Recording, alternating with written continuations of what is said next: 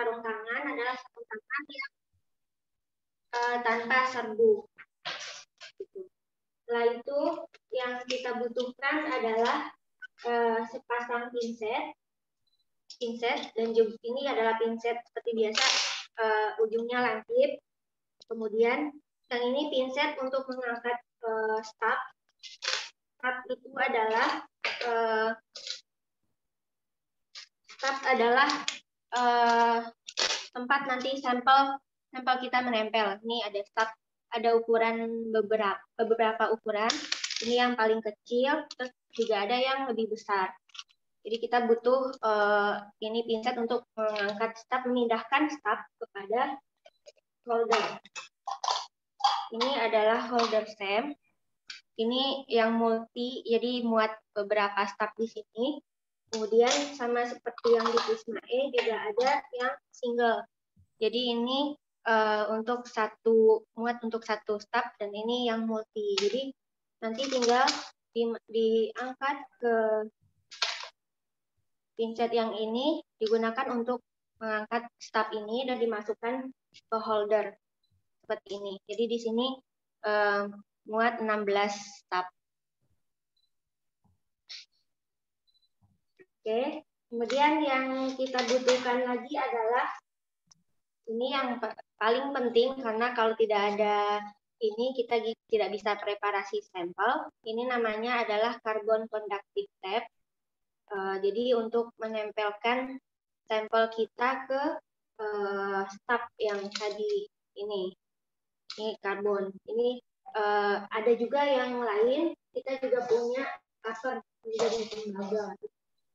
Jadi nanti tergantung uh, penggunaannya. Kalau cover ini uh, uh, sebagaimana kita lihat dari tabel periodik, cover itu lebih berat dari atau lebih berat dari karbon sehingga intensitasnya nanti lebih banyak dan ini bagus untuk sampel yang uh, dominan mengandung elemen yang ringan. Itu kita juga butuh gunting, gunting yang digunakan nanti untuk memotong uh, tape, karbon tape. Setelah itu kita juga butuh blower. Ini adalah blower untuk yang gunanya adalah untuk memastikan bahwa tidak ada debu yang menempel pada sampel atau pada staf sebelum kita masukkan ke dalam uh, chamber. Jadi kita uh, semprot dulu gitu biar tidak mengotori chamber. Nah, yang selanjutnya adalah ini adalah alkohol. Alkohol ini kita gunakan untuk membersihkan staf kalau misalkan kita sudah selesai uh, menggunakan atau sudah selesai preparasi sampel dan sudah dianalisa. Dan untuk memudahkan untuk membersihkan staf ini kembali, sebaiknya uh, setelah digunakan itu langsung dilepas. Seperti kemarin Ibu Syarifah tanyakan, gimana untuk membersihkan staf uh, SEM. Nah, itu untuk memudahkan setelah digunakan kalau bisa langsung dibersihkan karena kalau dibiarkan terlalu lama itu akan menempelnya jadi akan kuat di sini. Jadi agak sulit untuk mengangkat double tip yang tadinya menempel di sini.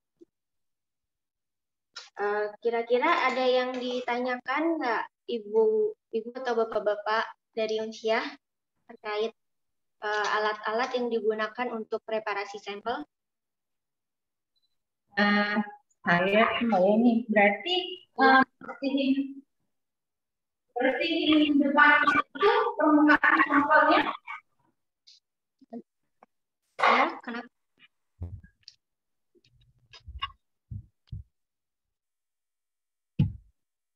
Ya, kenapa Bu? Ini bersihin permukaan sampelnya supaya uh, kita pastikan supaya itu supaya semua sudah melekat tuh bisa pakai blower yang karet itu aja ya? Iya. Uh, Jadi kalau yang tidak terlalu kuat menempelnya biar uh, lepas di luar sebelum masuk chamber gitu. Uh, kemarin saya dibekali ini sih mbak beberapa botol. Oh iya itu juga nggak apa-apa. Iya, gas filter. Cuma kayaknya lebih ekonomis yang itu ya. Ya, lebih ekonomis pakai ya. Nah, kita kan harus aja nggak ada ini soalnya terpaksa beli ke marketplace. Ya. Ya. Oke, berarti bisa ya? Ya. Baik. Kira-kira ada lagi, Bu? yang Yang tape itu, pertanyaannya yang tape-nya itu bisa nggak pakai tape biasa tuh? Oh, nggak bisa Pak, karena eh, di untuk scanning elektron mikroskop ini kan kita harus eh, memastikan eh, groundingnya bagus. Nah, kenapa kita pakai karbon? Karena karbon itu eh, bisa meng- mengurangi nantinya charging karena karbon eh, kalau tape biasa itu kan biasanya plastik kayak plastik biasa gitu Pak itu malah nanti nggak bagus ke sampelnya.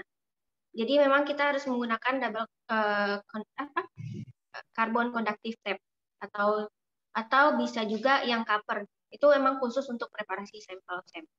Oke, ya, makasih.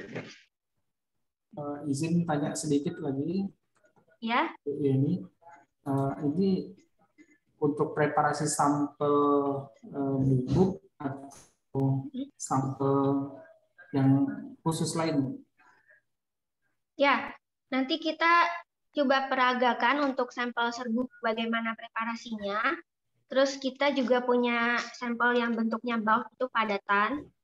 Preparasinya seperti apa sama eh, kalau misalkan kita ingin melihat penampang melintang dari sebuah sampel, preparasinya seperti apa itu berbeda.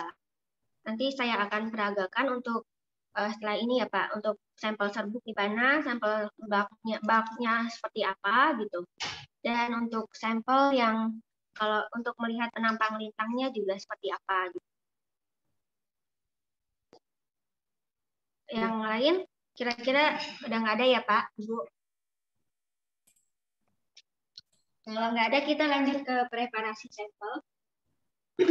Oh ya, yang dibutuhkan lagi ini adalah untuk eh, tempat dari staf biar posisinya stabil ketika kita preparasi sampel. Jadi stafnya kita masukkan ke lubang ini.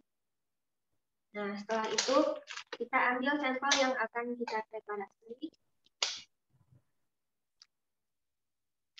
Ini kebetulan kita punya sampel serbuk yang ada di dalam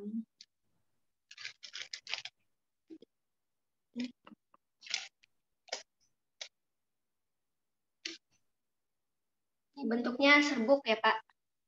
Ibu, jadi kita preparasi dulu, kita butuh plastik. Nah ini kita keluarkan dulu menggunakan spatula.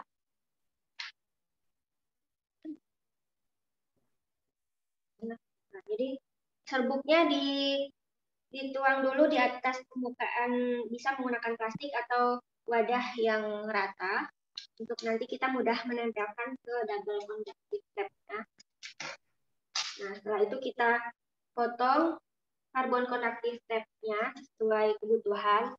Sebenarnya untuk preparasi SEM keukuran setengah senti kali setengah senti itu sudah uh, sudah luas gitu bentuknya bisa kita amati di uh, SEM gitu. Jadi sedikit saja sudah cukup. Dan kemudian menggunakan pinset. Setelah itu kita tempelkan si serbuk itu di permukaan eh, karbonnya yang salah satu sisinya ditempelkan dengan serbuk yang akan kita analisa.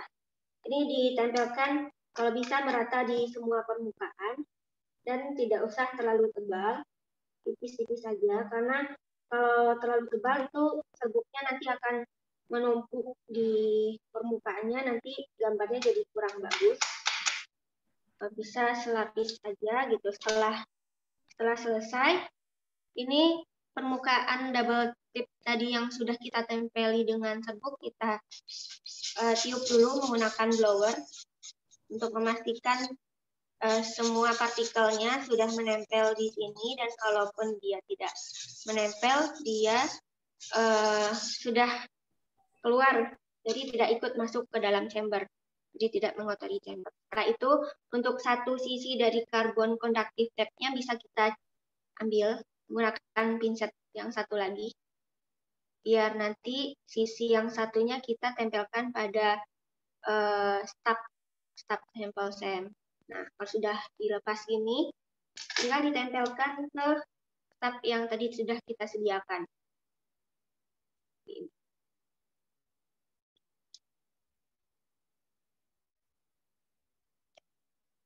Kalau untuk uh, sampel serbuk kira-kira preparasinya seperti itu ya, Pak Ibu.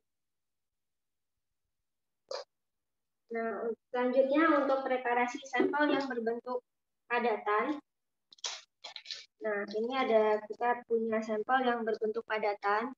Nah, ini sebelum kita preparasi kita harus memperhatikan terlebih dahulu apa bagian mana yang akan kita amati, apakah sisi samping, sisi atas atau sisi yang sebelah mana, maka kita harus uh, memastikan yang menempel pada staf itu nanti permukaannya lebih rata gitu biar uh, memudahkan dia kontaknya dengan uh, staf gitu. Jadi karena ini yang akan diamati adalah permukaan atas ini karena bekas patahan, maka yang ditempelkan pada staf adalah bagian bawah. Dan uh, double conductive tape yang kita gunakan ini harus uh, melewati permukaan samping dan ke atas. Jadi sehingga nantinya ketika sampel sudah ditembak elektron itu akan dialirkan ke bawah. Jadi elektronnya tidak numpuk di permukaan atas. Jadi ini bisa mengurangi mengatasi charging pada sampel. Hmm. Gitu. Jadi uh, preparasinya Mungkin agak di zoomkan sedikit Mbak Yeni uh, apa namanya yang sudah jadi itu yang sudah jadi oh, ya. sampel hordel tadi ya Oh iya, ini yang sampel berbentuk serbuk ya Pak. Oh gitu, ya ya ya. Jadi dipastikan ini satu sisi satu sisi yang tidak ada sampelnya itu semuanya menempel di permukaan staf gitu Pak. Iya iya iya. Ya. Uh -uh. Mbak Yeni tadi uh, yang full cover apa ya? Uh, saya tadi kurang uh, ini. Yang setelah ini, yang tadi Mbak Yeni oh. taruh di, di meja itu? Ini kebetulan uh, ini ya, ini sampel baja. Oh. Ya, jadi sampel baja kalau untuk preparasinya, kalau kita menggunakan staf, ini ditempelkan dengan ya. konduktif, tapi disampaikan ke atas, jadi melewati pinggir dan di samping permukaan. Semua. Oh, begitu. Ya, itu hmm. dapat mengurangi charging karena uh, si karbonnya itu dapat ya? uh -uh. ya. memperbaiki uh, apa mengurangi uh, tumpukan elektron pada permukaan atas yang kita tembak dengan elektron gitu. Oh, pantas yang baja gear yang kemarin saya itu agak agak terang gitu. Oh ya, berarti itu terlalu banyak mungkin groundingnya kurang bagus bu. Hmm. Dan berarti, kalau bisa ber, sebelum berarti, preparasi berarti, juga halo Mbak Yuni, ya. Mbak Yuni, berarti pinggir-pinggirannya harus di grounding semua, ditutup sama tape, bawahnya tinggal atas saja yang terbuka ya. gitu ya? Iya betul Pak. Jadi ya. permukaan yang akan kita amati saja yang terbuka gitu. Eh, dan kalau bisa diusahakan ketebalan sampelnya itu tidak melebihi jangan terlalu tebal gitu pak. Jadi kalau bisa lebih tipis kurang dari satu senti uh, bisa dipotong jadi lebih tipis. Karena kalau terlalu tebal elektronnya juga kurang bagus groundingnya jadi kurang bagus juga gitu pak. Jadi akan charging juga di hasilnya. Jadi sebaiknya memang ketebalan itu di bawah satu senti ya? Ya sebaiknya di bawah satu senti Kalaupun sampelnya harus di mounting, itu ada preparasi tambahan, uh, harus dipoles, di mounting gitu. Uh, mountingnya itu juga jangan terlalu tebal, dibuat satu senti atau kalau bisa di bawah satu senti. Oke, yang powder tadi, Mbak, Mbak, yang powder tadi Hah? berapa aja banyak sampelnya harus kita taruh ya? Sampel powder itu sebenarnya kalau yang biasa di diamati di sini adalah ukuran ukuran double conductive tape-nya itu kita potong setengah senti kali setengah senti sudah cukup sih Pak. Ya, usah terlalu. Seberapa, seberapa banyak kita taburin di atasnya? Oh, itu kalau bisa jangan ditaburin Pak. Kalau ditaburin ditaburin di atas gitu biasanya kurang merata. Oh, jadi gimana bagusnya tadi? Ya, jadinya teraglomerasi gitu. Nah, bagusnya bagusnya nah, gimana supaya terjadi bagusnya, tidak terjadi aglomerasi? Uh, seperti yang tadi saya sudah ragakan, jadi ini dipotong dulu, terus diambil, terus sisi satu salah satu ya. sisinya ditempelkan ke, di ke sampel holder ya. Ini serbuknya kita siapkan dulu di wadah yang rata. Ya. Kemudian kita tap tapkan di permukaan serbuknya. Jadi seperti ini Pak, hasilnya jadi lebih rata. Oh, Kalau misalkan betul. kita tumpuk di taburi itu biasanya ya. menumpuk gitu. Ya, enggak maksud saya seberapa melekat aja gitu Mbak ya. Iya. Nah, kalau bisa rata aja Pak, jangan terlalu banyak yang kosong tapnya gitu. Itulah maksudnya kan kita kita taruh dulu yang powder di kertas, kemudian kita ambil ya. tip dari atas kita taruh ke bawah, kita tekan-tekan seberapa dia nempel gitu ya. Iya, betul. Betul ya. Seberapa dia nempel ya. Oke. Okay. Hmm. Oke, okay, baik, baik. Nah, kira-kira itu kemudian untuk sampel yang bentuknya padatan gini kita uh, akan seperti ini saya terapkan. Saya punya nih kemarin Mbak Yeni. Kenapa Bu? Ini gear. Oh, kelihatan. Jadi saya tuh nggak lapis di tepinya. Jadi oh ya charging dia. Uh, uh, berarti harus di harus ada tambahan karbon tapnya ke atas bu untuk ke tepi tepi tepi ini ya semuanya ya. Untuk jalur elektron ya. Iya, oke. Okay.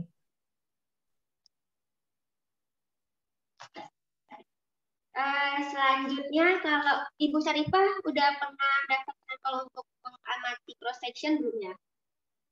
Uh, cross section sudah pernah waktu uh, Pak Ponco di sini, ya Pak Fauzi ya. Iya, sudah pernah. Uh, itu kita pakai kucing Pak ya, yang punya Pak itu.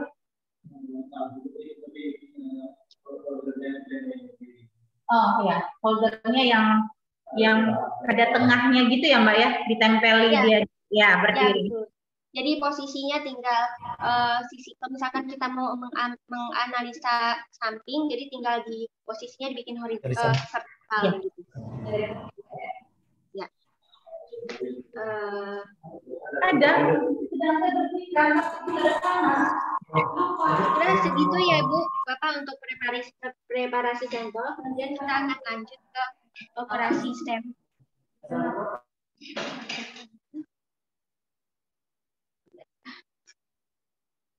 Sebelumnya untuk bapak-bapak dan ibu yang uh, belum tahu dengan STEM, ini saya uh, peragakan dulu bahwa yang paling atas ini adalah kolom, kolom dari STEM dan untuk uh, di STEM itu ada namanya elektron gun, jadi sumber elektronnya ada di paling atas ini. Asalnya di paling atas ini, nanti ini bisa dibuka. Terus di bawahnya ini adalah chamber STEM. Chamber STEM ini nanti uh, sampel yang akan kita amati itu ada di dalam sini.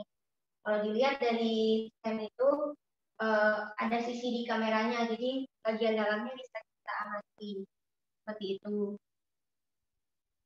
Kemudian uh, setelah itu di ada juga navcam, jadi kita bisa uh, mengamati dari atas sampel kita di dalam itu seperti apa gitu. Kebetulan yang bekas kemarin ya sampel foto. Foto sampel kemarin. Terus uh, yang bawah ini adalah sistem vakum semnya. Ini udah satu perangkat sem. Ada ada PC ada PC terus di sana ada tambahan detektor yaitu detektor EDS nah, mungkin besok kita akan bahas EDS-nya ya Bapak Ibu. Dan satu lagi itu ada uh, visi untuk EDS. Ini juga mungkin kita akan bahas besok. Uh, kemudian kita akan mulai ada venting sem. Venting sem itu maksudnya kita uh, kalau kondisi sem tidak dioperasikan itu harus berada dalam vakum. Jadi sekarang vakumnya itu 7 per 9 pangkat. Jadi untuk membuka ini, membuka yang berbentuk, kita harus venting dulu. Kita menggunakan nitrogen.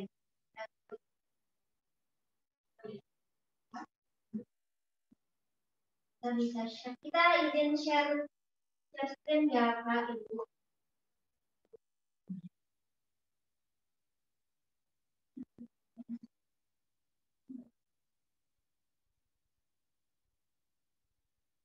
Okay.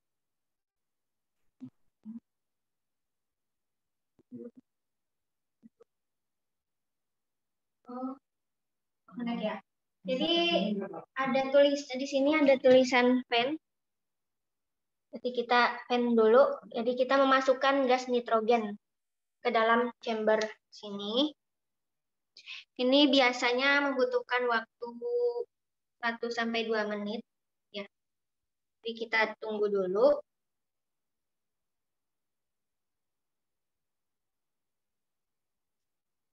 Jadi di untuk SEM itu nanti ada dua detektor yang kita butuhkan yang di sebelah sini, layar sebelah sini, nanti untuk menampilkan hasil gambar dari detektor BSE.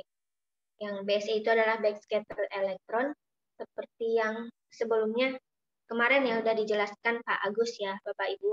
Kemudian di layar sebelah sini akan menampilkan gambar dari secondary elektron gitu. Ini lagi proses venting. Oh ya, sebelum kita sembari menunggu venting semnya, uh, untuk kemarin kan Pak Agus sudah menjelaskan kita bisa high vacuum dan low vacuum untuk semnya. Nah, untuk low vacuum itu kenapa kita bisa low vacuum? Jadi low vacuum itu kita memberikan buat ada air yang ditambahkan ke chamber. Jadi di sini ada botol. Botol air. Nah, isinya adalah demineral. Jadi air yang nggak ada mineralnya. Uh, Bu Syarifah sebelumnya sudah ini belum ya? Sudah pernah menggunakan low vacuum? Uh, sudah Mbak, ada di, di bawah sini ada botol seperti itu. Ya. Ya. Gitu. Itu Kayak... harus selalu sering-sering dicek ya. Ini sudah sedikit nih jangan sampai airnya kering gitu di botol. Ya. Ini ya, Ini, ya betul. Itu ya. airnya masih banyak ya? Apa sudah? Masih banyak airnya 250 ml. Oh ya, berarti ya diusahakan selalu dicek terus jangan sampai kosong. Ya. Ya. Panasnya eh, kalau udah setengahnya harus udah diisi lagi ya? Ya Mbak ya? Kenapa? Eh, seberapa dia harus sudah diisi lagi? Seberapa kurangnya? Kira-kira? Ya, uh, kurang dari seperempat harus sudah diisi lagi. Gitu. Oh iya. Pakai Cleo ya Mbak? Bisa? Apa? Pakai Cleo bisa ya? Di mineral? Pakai Cleo, pakai Super O2 juga bisa. Pokoknya ada tulisan di mineralnya. Oh oke. Okay. Aku, aku mineral. Ah, boleh.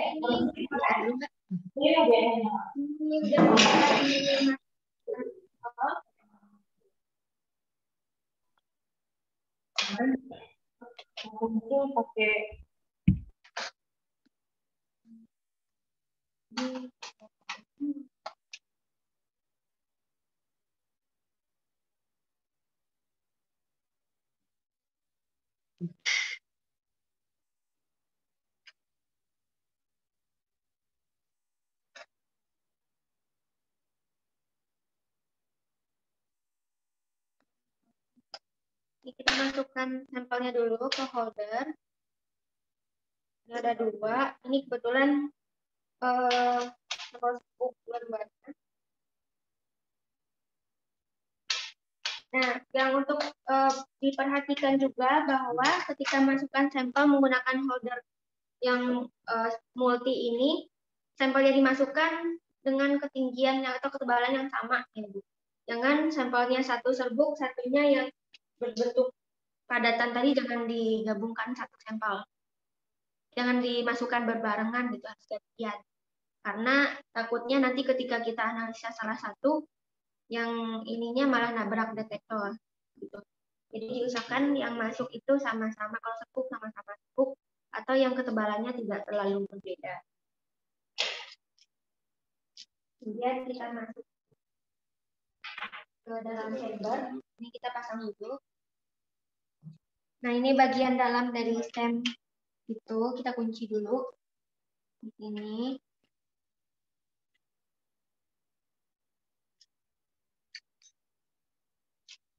itu kita pasang holdernya.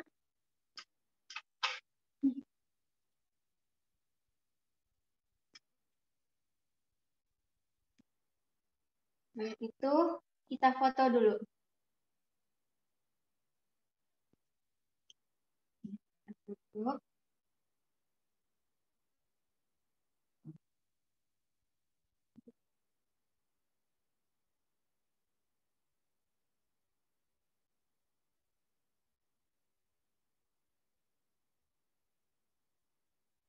Oke, kalau sudah kita tutup chambernya.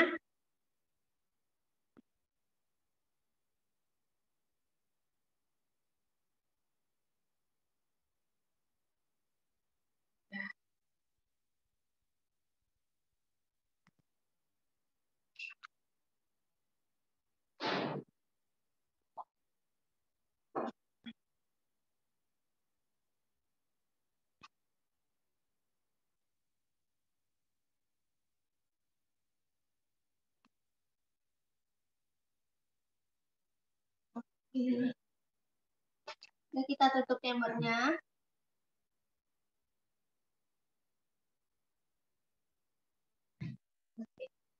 Setelah itu kita pump. Pump itu ada di bagian kanan atas. Pump itu maksudnya udara kan tadi di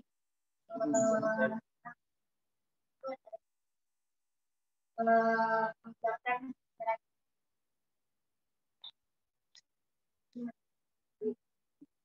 kita dua menunggu kira-kira ada yang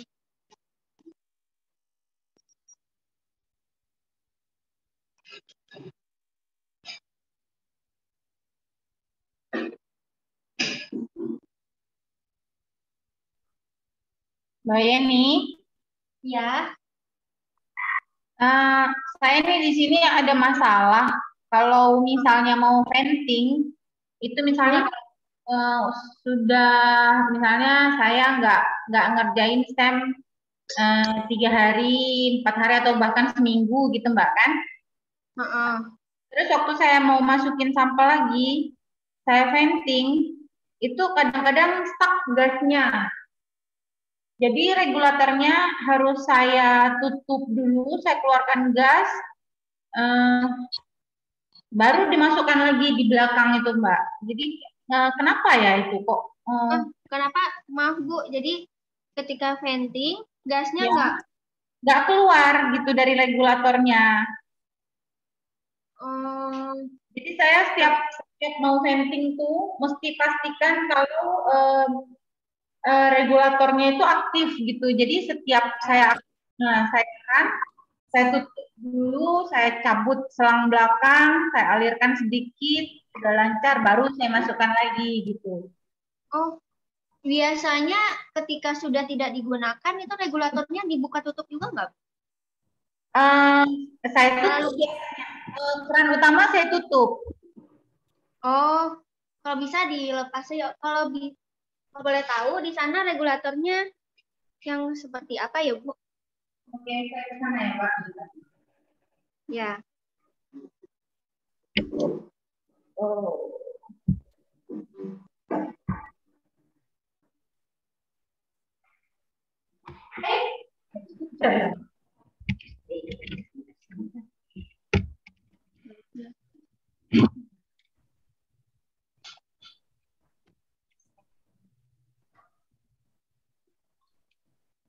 Ya mbak laptopnya masih saya apa ya mau kasih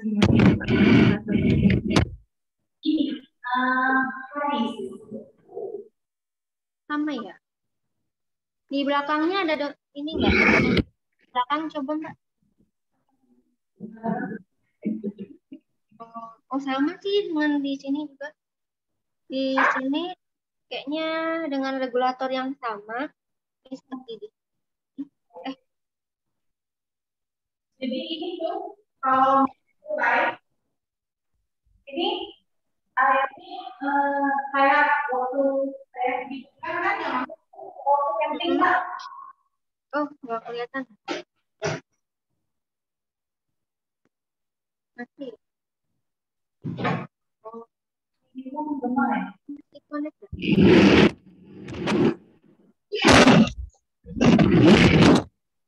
Nah, ini Mbak. Hmm, iya sama. Itu sekarang posisinya lagi vakum atau gimana, Bu? Apa? Vakum ya? Nah, ketika ketika venting itu angka di jarum yang masuk ke SEM itu berapa ya? 0,2 bar. Harusnya tuh yang ketika dibuka 0,2 maksimal tuh 0,2 bar. Ya. Ya, sama ya. Sama. Ini karena posisinya lagi vakum aja ya, Bu. Jadi di atas. Eh, oh iya, di atas ini vakum. kalau sudah venting dia turun. Iya, turun jadi jangan melebihi 0,2 bar. Iya. Uh -uh. Dan uh, yang utamanya kalau bisa nggak usah dibuka tutup. Oh, walaupun Uh -uh. Jadi ketika udah selesai, terus selesai venting, terus dipam lagi, nggak usah di di otak atik gitu gasnya. Oh, jadi sekarang kalau dari kondisi vakum aja ya mbak? Iya. Oke. Okay. Karena dia kan ada katupnya, udah ketutup sendiri gitu. Kalau emang nggak dalam kondisi venting, dia gasnya nggak keluar. Ya, tapi itu tadi masalah saya tuh kalau mau venting, itu saya selalu harus lepaskan ini. Oh, tapi ada keluar pesan error nggak, Bu? Uh, nggak ada. Nggak ada error, cuma dia uh, nggak, nggak chambernya. Oh, nggak kebuka. Oh, maksudnya udah sekali sekali proses venting, terus udah in, lampu indikatornya udah hitam, tapi belum masih belum dibuka gitu, masih ya. belum bisa dibuka chambernya. Oh, itu diulang ya. lagi aja ventingnya bu. Diulang lagi, tapi ini gasnya nggak ngalir, ininya langsung nol. Jadi akhirnya tuh ya. kayak cabut. Itu kendalanya yang di, di jarumnya nol. Nah, hmm, kemungkinan settingan regulatornya sih Bu itu. Oh ya. Iya karena uh, ketika nyeting 0,2 itu kenapa dia jadi nol di belakang sini itu agak sensitif. Eh mana ya? Berarti yang ya di belakang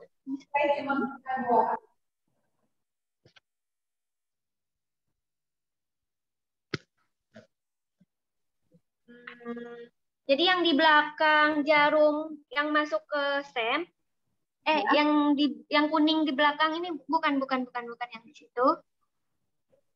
Kemungkinan ya, nah di belakang situ ada yang bisa diputar. Jadi oh. kayaknya tuh ini ya. Iya, ada tuh di pojok di tengah-tengahnya, Bu. Tengah-tengahnya kayak ada kan mana hitam. nah, di situnya itu ada kunci ada kunci yang harus disetting gitu. Oh. Kemungkinan di situ. Jadi eh, masalahnya kayaknya di regulatornya sih, Bu. Oh, ya. Berarti udah, udah, udah tahu Ya, Mbak. Nanti mungkin dua ini ya, Mbak. Tentang waktu yang lain. Mbak Yani. Ya. Uh, udah ini kebetulan uh, vakumnya sudah mencapai vakum. Kita bisa lanjut ya Bu. Ya. Nah, kita yang harus kita lakukan dulu untuk mengoperasikan tes adalah uh, kita pindahkan karena kita udah foto tadi nah tadi kita udah foto sampel dari atas di nampaknya seperti ini. Jadi kalau kita mau pindah-pindah sampel analisa tinggal diklik aja, double klik di atas uh, sampel. Misalkan kita mau analisa sampel tinggal klik dua kali. Nah, di ini di sisi di, sisi di kameranya kelihatan foldernya bergerak sesuai dengan yang uh, ada yang tadi. Setelah itu untuk memulai analisa SEM yang harus kita lakukan nanti adalah dimnya dimnya di on kan kalau dari lampu kayak lampu gitu lampunya dinyalakan dulu gitu baru bisa kita melakukan uh, analisa masa klik dimnya kemudian kita unpause ini layar kiri kanan. Ini ada SE dan BSE. Nah, kalau kita melihat bentuknya terang begini, itu artinya sampelnya charging. Dan sekarang kan kondisinya lagi kondisi high vacuum. High vacuum itu artinya dalam kondisi vakum yang tinggi, jadi sekarang pakai di 2 Pascal, ternyata sampel kita charging. Charging itu e, kalau dilihat dari gambar indikasinya adalah terang-terang gitu kayak bercahaya gitu kalau dikecilin ada bekas elektronnya nah itu artinya sampel kita ini uh, maka untuk mengatasinya adalah kita ganti ke uh, mode vakumnya yaitu low vakum yaitu yang memanfaatkan air yang di tadi gitu. Ini sebelumnya uh, uh, saya kasih tahu dulu bahwa dan kita ini ada dua jenis vakum. Ada sebenarnya ada tiga, ada high vakum dan itu untuk vakum yang tinggi biasanya untuk digunakan pada sampel yang konduktifnya konduktivitasnya bagus atau sampel-sampel yang uh, uh, di coating gitu. Misalkan emang dibutuhkan coating. Tapi kalau misalkan sampelnya nggak uh, konduktif dan tidak di coating juga uh, atau memang sampelnya tidak memungkinkan untuk di coating karena akan dapat mempengaruhi permukaannya, maka kita menggunakan low vacuum. Nah, kebetulan ini sampel yang kita analisa ini sampelnya uh, charging di kondisi high vacuum, maka kita akan menggunakan model low vacuum. Caranya adalah uh, beamnya kita off-kan dulu, setelah itu di layar kita sebelah kanan ini di bawah high vacuum kita klik tombol low vacuum. Low vacuum. Kemudian ada jendela keluar PLE configuration ini no accessories kita langsung oke okay. dan setelah itu di belakang SEM ini ada yang kita perlu buka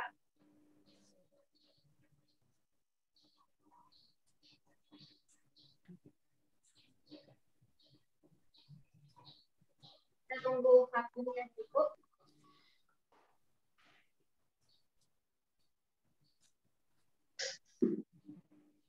Nah, ini uh, kalau untuk sampel-sampel yang biasa kayak gini, kayak serbuk, terus low vakumnya biasanya gunakan uh, pada tekanan 70 Pascal. Itu standarnya segitu. Tapi kalau misalkan dalam kondisi 70 Pascal ini masih menunjukkan uh, efek charging, ini pressure-nya bisa dinaikkan lagi. Kalau untuk SEM kita itu bisa maksimal di 130 Pascal. Jadi uh, untuk low kondisi low vakum ada uh, parameter yang harus kita ganti-ganti tergantung dari nanti sampel kita uh, uh, cocoknya di pressure berapa gitu. Nah, ini sekarang sudah vakum. Sudah, tandanya adalah indikator di bawah sini udah berubah jadi jauh, itu tandanya vakumnya sudah tercapai. Maka kita bisa lanjutkan untuk analisa sampel uh, dengan cara beamnya kita on-kan lagi. Ini beamnya on-kan, kita tunggu. Sudah. Dan uh, kita unpause lagi layar dua layar di atas. Nah, sekarang sudah tidak ada lagi yang seperti tadi yang kelihatan seperti bercahaya. Itu adalah efek dari kelihatan terang. Sehingga morfologi dari uh, sampel kita itu tidak bisa kelihatan. Uh, ini sekarang yang perlu disetting juga adalah chamber pressure yang tadi 70 pascal setelah itu ada di sini ada spot size, ada high voltage. Kalau untuk standar ini tergantung dari sampel ya. High voltage itu 10. Sebenarnya makin uh, kecil high voltage itu bagus untuk uh, menganalisa morfologi karena tidak terlalu menembus uh, permukaan sampel. Jadi informasi yang keluar itu hanya benar dari permukaan sampel ya. Jadi untuk yang pertama kita lakukan adalah kita memilih spot atau area yang akan kita amati. Kita pindah ke sampel ini karena tadi enggak komponen. Nah, ini kita akan menjelaskan dulu bedanya gambar dari uh, layar sebelah kanan dan sebelah kiri. Dari gambar sebelah kanan ini adalah gambar dari uh, detektor ST, yaitu secondary electron uh, detektor. Jadi dia akan memberikan informasi tentang morfologi dari sampel.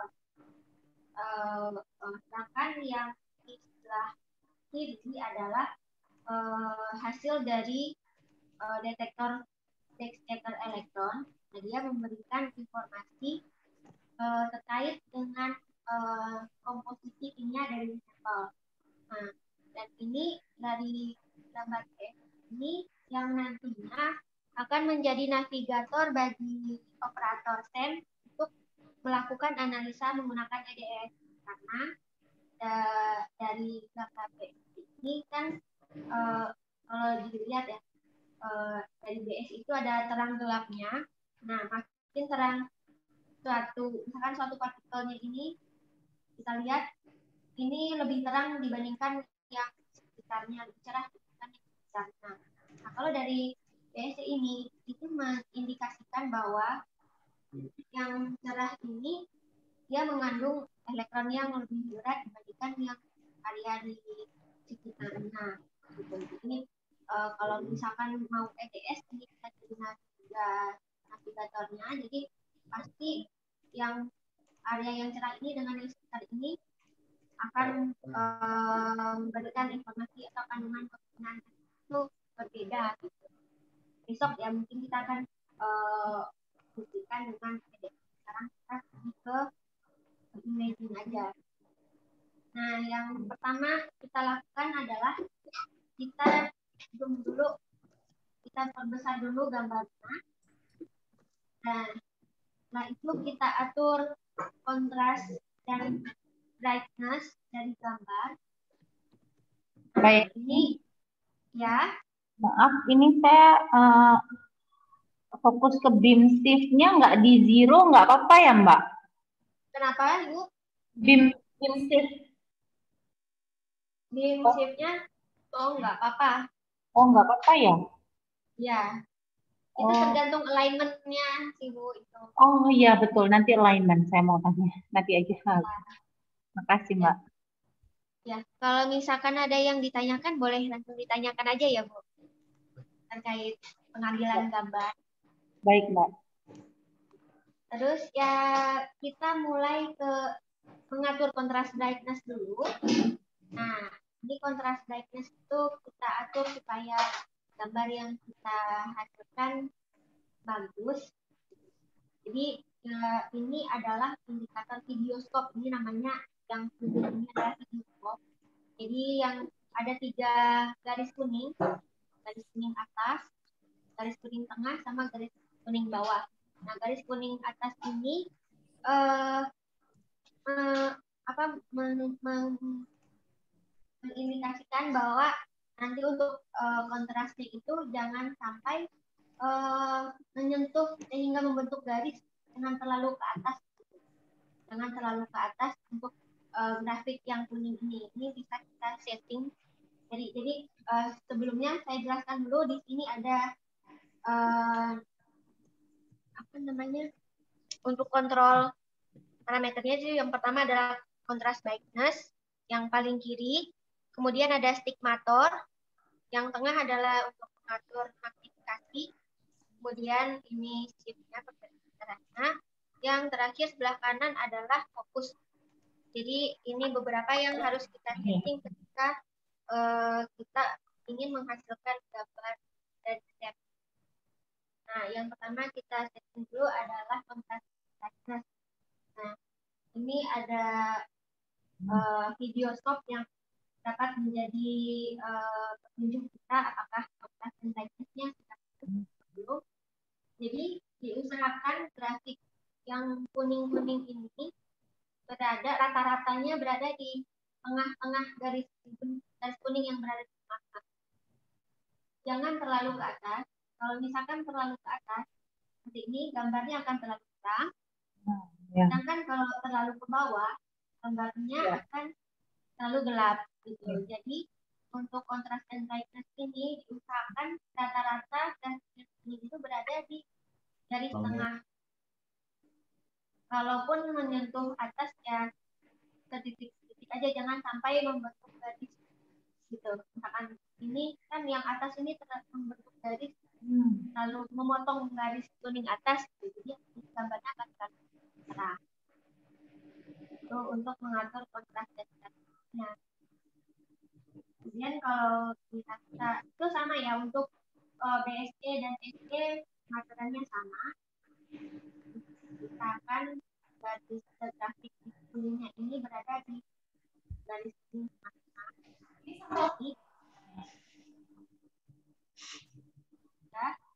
kita bisa mulai ke fokus. Nah, sebelum kita fokus, ada yang Tidak. Ini link sampel Z untuk memastikan bahwa di bawah sini kan ada parameter kita gunakan kita gambar ini jadi ada tanggal yang sekarang kemudian kita kemudian ada informasi di hari nah ada informasi magnifikasi, pressure-nya, terus ada working distance, sama ada spotlight. Paling kanan ada informasi uh, scale bar. Nah, yang fungsinya yang penting itu adalah untuk memastikan posisi yang terbaca bagian bawah ini sama dengan yang terbaca pada koordinat.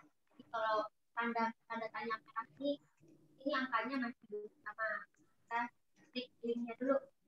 Klik nah kita sekarang angka yang terbaca pada waktu itu sudah sama dengan terbaca di koordinat so, kalau sudah selesai kita mulai gambar nah kalau mau fokus sebenarnya ini bisa langsung kita fokus ini bukan kita pilih dulu uh, kotak sebelah di atas ini di area jadi kita benar-benar fokus ke area Nah, ini ada kotak. Ini bisa dihias ukuran mau bikin atau dicari. Tentu kita mau fokus ke uh, yang mana, area yang mana gitu. Misalkan kita mau fokus ke area yang bulat, nah, tinggal ditarik kan ke area yang bulat. Selanjutnya, kita bisa mengatur fokus menggunakan uh, menggunakan uh, keyboard menggunakan mouse kita. Dengan klik kanan pada mouse ditarik ke kiri atau ke kanan layar sehingga mendapatkan gambar yang jelas. Ini kalau ini menggunakan mouse. Jadi tinggal dari gambar yang sudah ada tandanya tinggal ke kanan, terus kiri, dari kiri atau ke kanan, sehingga mendapatkan gambar yang tajam dan jelas. Tuh. Atau bisa juga menggunakan uh, ini, menggunakan uh, tools ya.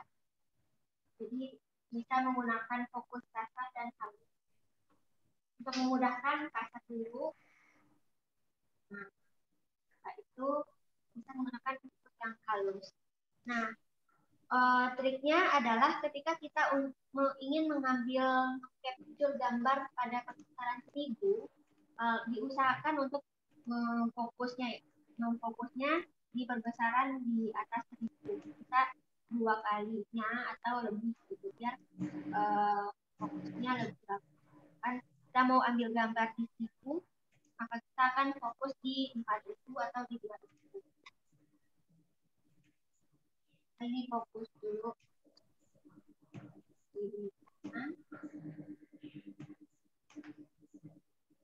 Kita bisa menggunakan mouse.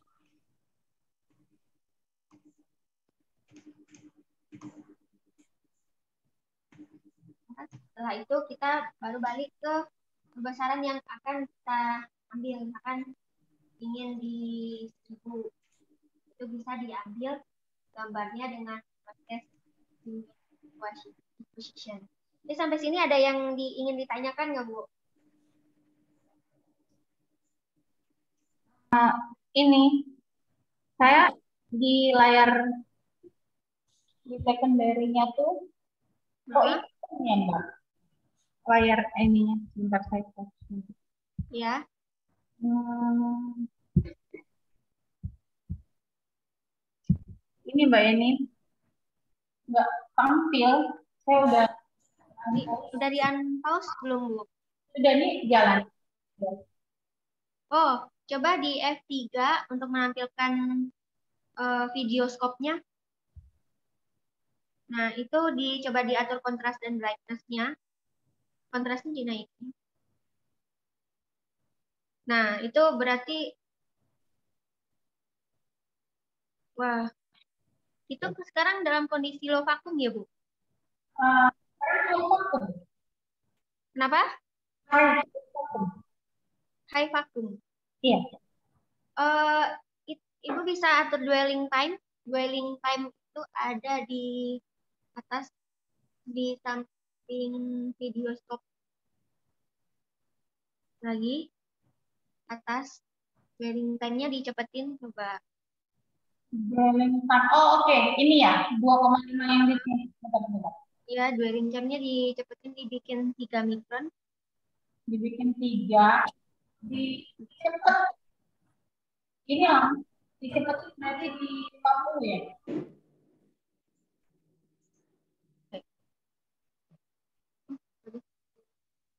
Gitu, Mbak. Oh, sekarang kondisinya ada sampel nggak, Bu, di dalam? Ada. Ini sampelnya hmm, yes. Ini kimian. Atau ambil zat nanopartikel dulu. Bentar ya. Uh, Oke. Okay. Berarti yang sebelah kiri ini udah Lovak, uh, udah BSE belum, Bu? Kenapa, Mbak? Yang sebelah kiri. Ini BSE apa? Sebelah kiri. Nah, ya itu BSE. Ini SE ya? SE. Ya. SE apa BSE, Bu? Oh, kelihatan ya.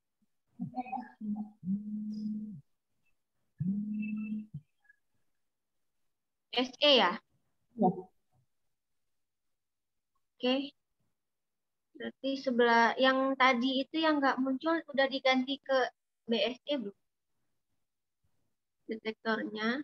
Detektornya ABS di sini.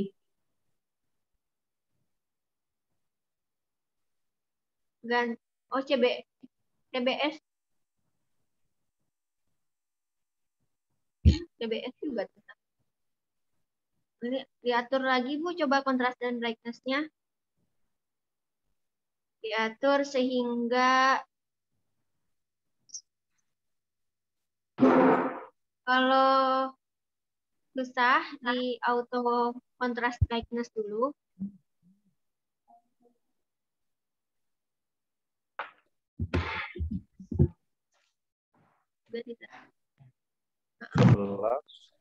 Katanya udah belum dihitung, belum dijumlahkan ya. Katanya udah dijumlahkan. Totalnya dua. Oh, saya bilang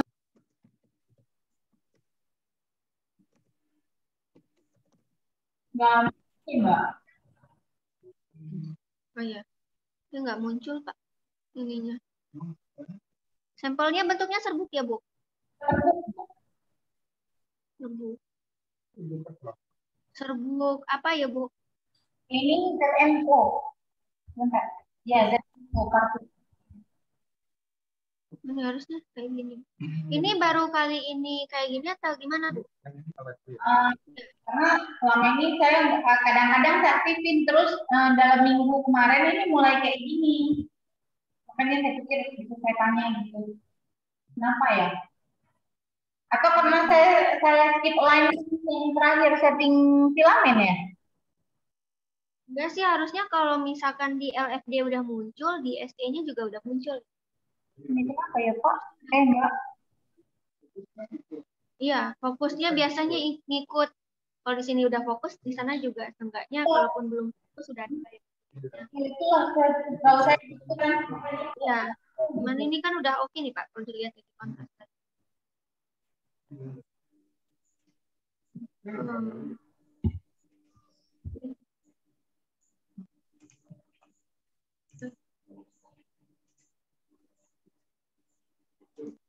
Baru seminggu ini ya, Bu, kejadian kayak gini? Iya. Muncul. Belakangan ini. Hmm. Iya. Eh. Iya. Oh, harus Harusnya kalau misalkan dari gambar LFD-nya sudah muncul bentuknya serbuknya kayak tadi, yang LFD yang FBSE harusnya udah ngikut sih Bu. Ya maksudnya gitu saya juga lihatnya yang lalu. Ini baru baru kejadian gini. Iya.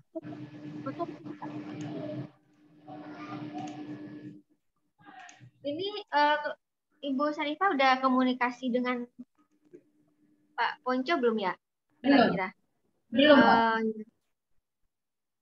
kebetulan kita belum ini ya kejadian kayak gini. Cuman harusnya kalau dari SE-nya sudah kelihatan, dari BSE-nya juga sudah kelihatan.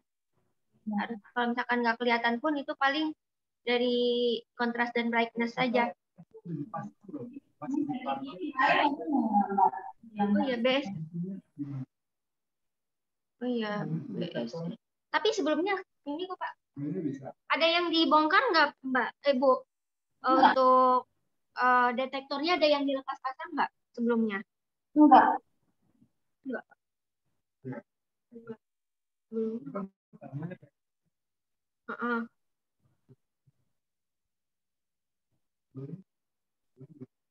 Coba kalau misalkan diganti ke kuat yang satu, yang sebelah kiri diganti dengan BSE, coba.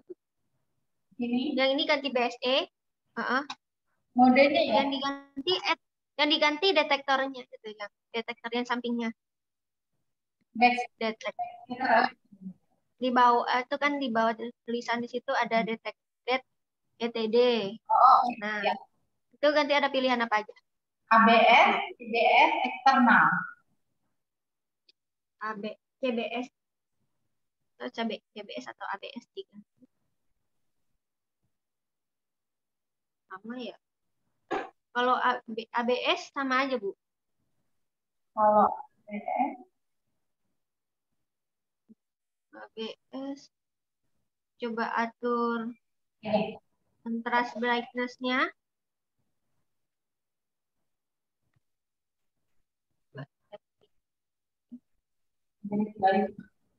Enggak muncul ya? Enggak.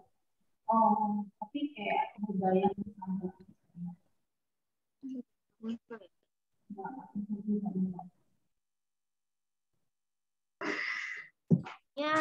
kayaknya ada masalah di detektornya ya.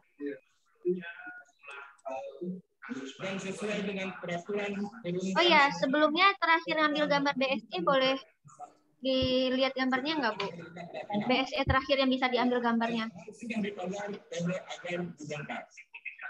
Oh ini, ini berapa hari yang lalu?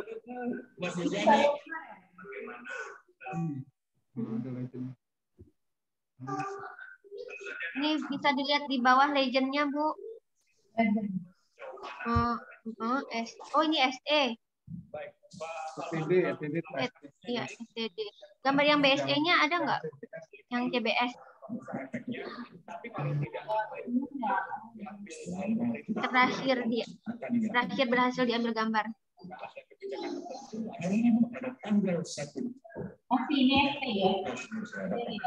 Ini apa STD?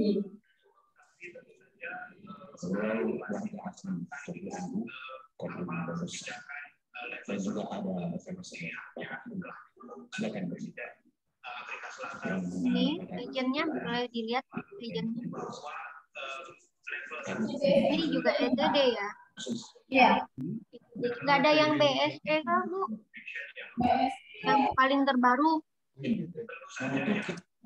CBS Terakhir kayaknya. Tapi emang sebelum-sebelumnya bisa ya bu? Uh,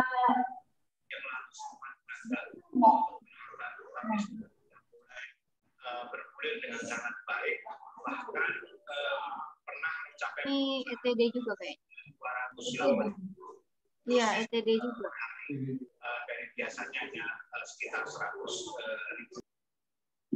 STD itu secondary, jadi bukan bukan backscatter. Jadi uh, uh, belum terlihat uh, BSE ini dipakai nih.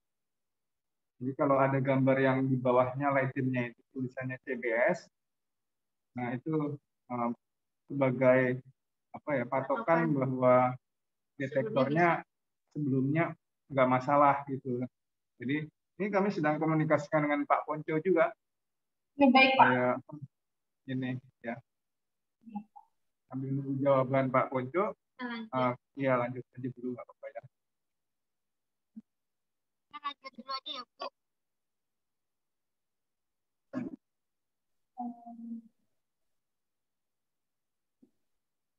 Saya nggak tahu itu uh, gimana ya yang terakhir. Mau jadi seharusnya detektornya tidak masalah eh, harusnya muncul pada gambar detektor detektif dan eh, yang eh, ini eh, biasanya kalau menggunakan mulai vakum akan tidak itu adalah ini adalah ETP dan sekarang kita menggunakan ini detektor ini adalah LFD sedangkan untuk eh, hasil gambar dari PS itu kan harusnya normalnya kita di unpause dua-dua di layar kota ini harusnya tampil kedua gambar. Setelah itu eh, di sini juga di bawah nah bisa ditampilkan gambar juga itu gabungan antara SC dan DS gabungan antara gambar ini dan ini akan uh, jadi mix tingkat join di, di Nah, setelah itu kita bisa mulai uh, capture gambar. Jadi caranya adalah kalau mau satu gambar ini, ini langsung saja kita yang atas ini jadi ya. Langsung di Jadi kalau misalkan mau mengambil gambar semuanya ini sekaligus ambil gambar SC dan DSC dan mix juga kita tekan tombol skip dulu setelah itu baru pencet uh, tombol yang atas gambar image apa ya? ya setelah itu kita tunggu proses ini. Nah sambil nunggu proses ini kita masih bisa masuk nah kalau kita lihat dari yang uh, gambar BS ini ini gambarnya terlalu terang ya. Karena uh, grafik dari yang ini ini yang atasnya memotong dari paling atas. Dan di bawah juga ada beberapa yang garis bawah. Jadi kita buat grafik kuning ini rata-ratanya adalah e, di tengah kuning yang di tengah-tengah sampai potong garis di atas kita ada kotak hmm. kita e, turunin kita turunin Mbak, suaranya nggak jelas, Mbak. Oh, nah, ya itu jelas. Oke, okay. oke. Okay. Jadi uh, kita usahakan garis kuning atas itu uh, apa grafik yang ini tidak memotong garis atas. Jadi kita usahakan berada di tengah-tengah rata-ratanya. Itu tadi enggak tahu ya, itu di tengah ya? Ya, tengah. Oke. Ini. Setelah itu di untuk gambar yang sebelah kanannya untuk gambar SD sama kita juga mengatur uh, dan brightness-nya itu berada di tengah. Tapi jangan di tengah itu kita tahu jangan terlalu pendek. Kalau terlalu pendek gambarnya akan kelihatan uh, agak soft gitu ya. Jadi ya, uh, agak agak apa ya kurang cerah kita naikin lagi kontrasnya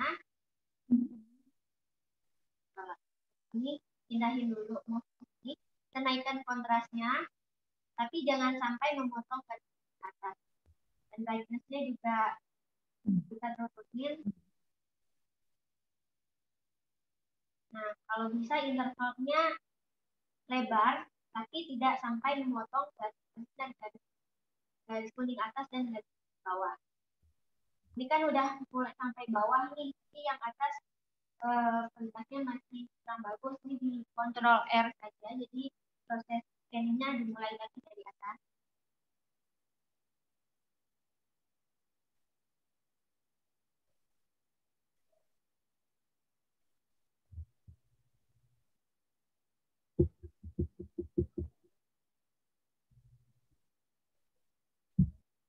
Dan ini proses scanning ini um, bisa kita setting apakah kita cepat atau lambat ya?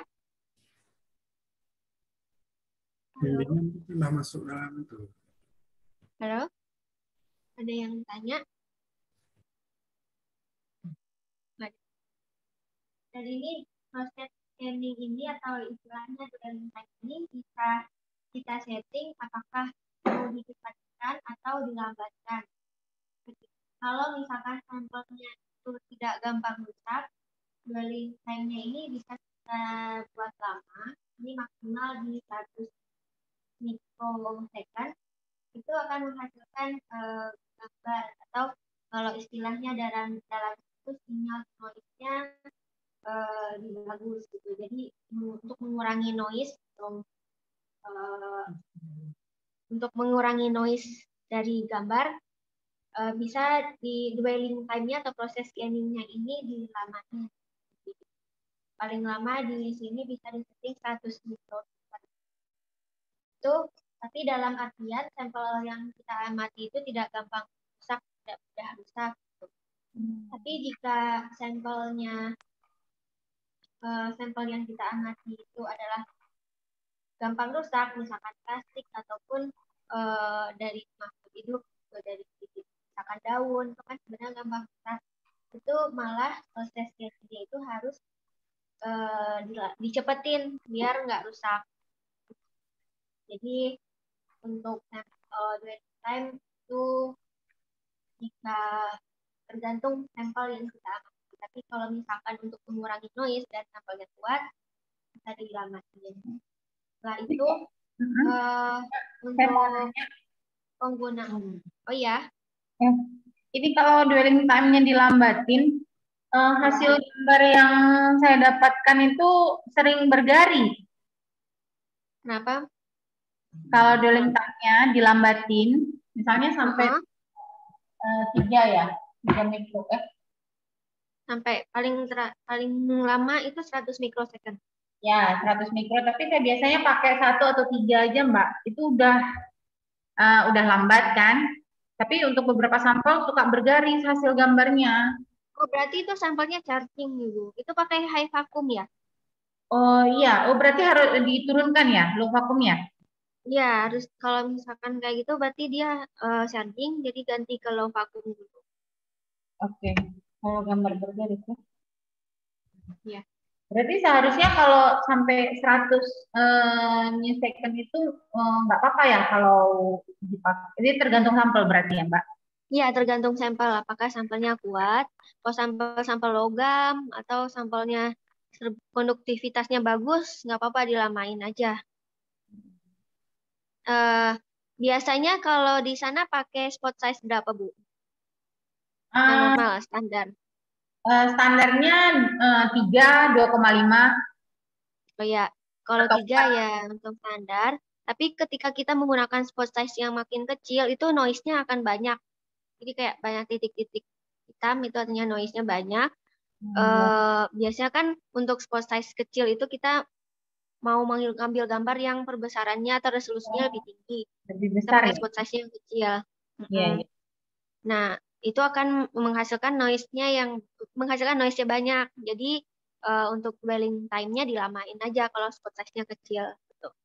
Biasanya saya perbesaran di atas 5000 udah mulai 2,5 ke atas. Kalau masih 100, 500 itu saya pakainya eh, 5 gitu, Mbak. Boleh? Oh, Boleh 5, nggak?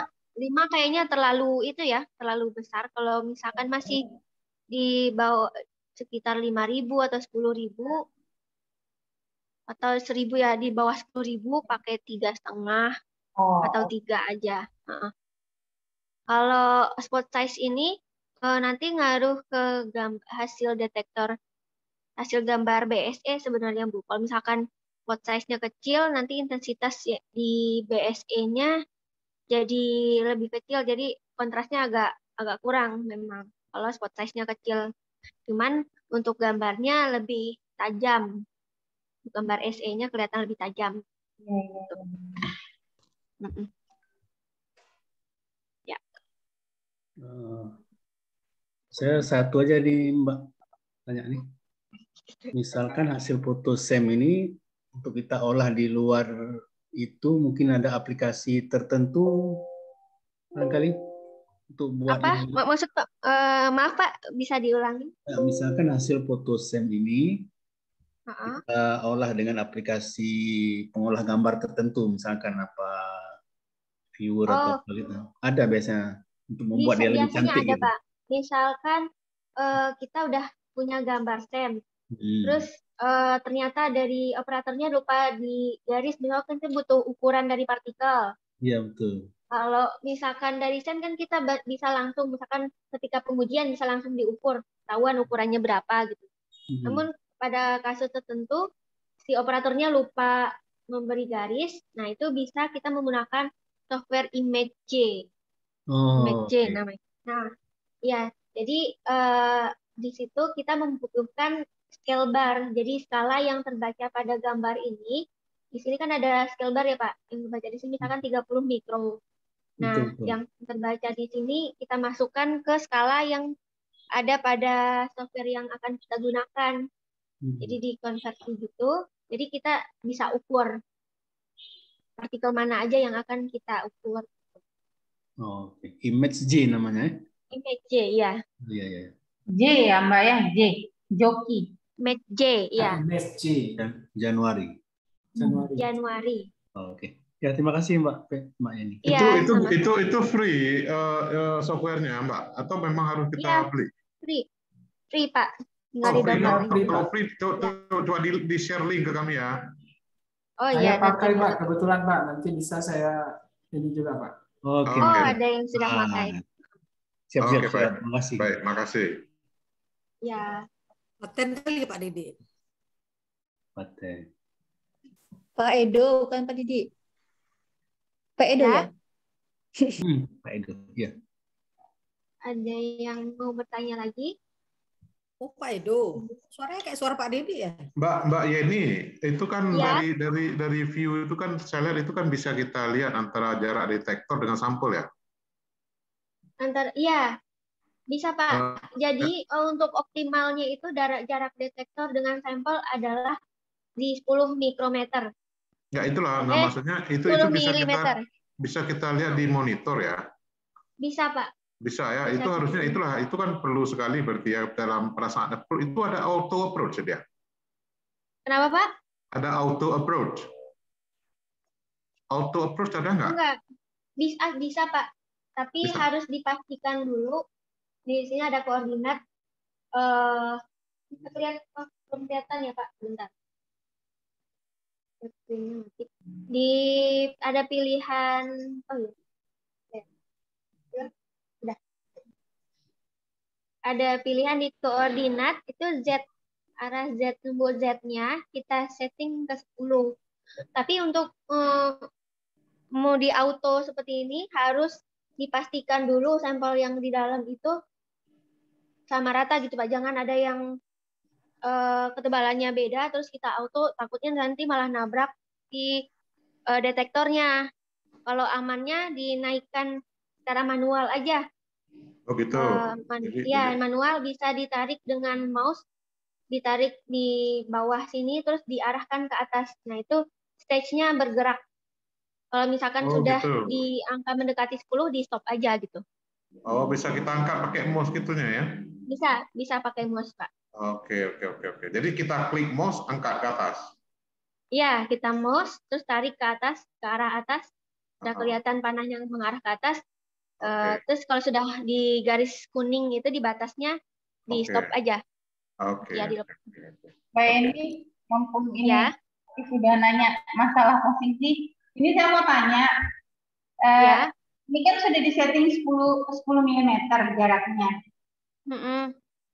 Uh, tapi informasi di bawahnya ini uh, Y-nya ini 12. Oh, berarti itu itu yang 10 mm itu cuman untuk indikator aja, Bu. Bukan oh. real sampelnya berada di 10 mm. Oh, Jadi memang harus ditentukan.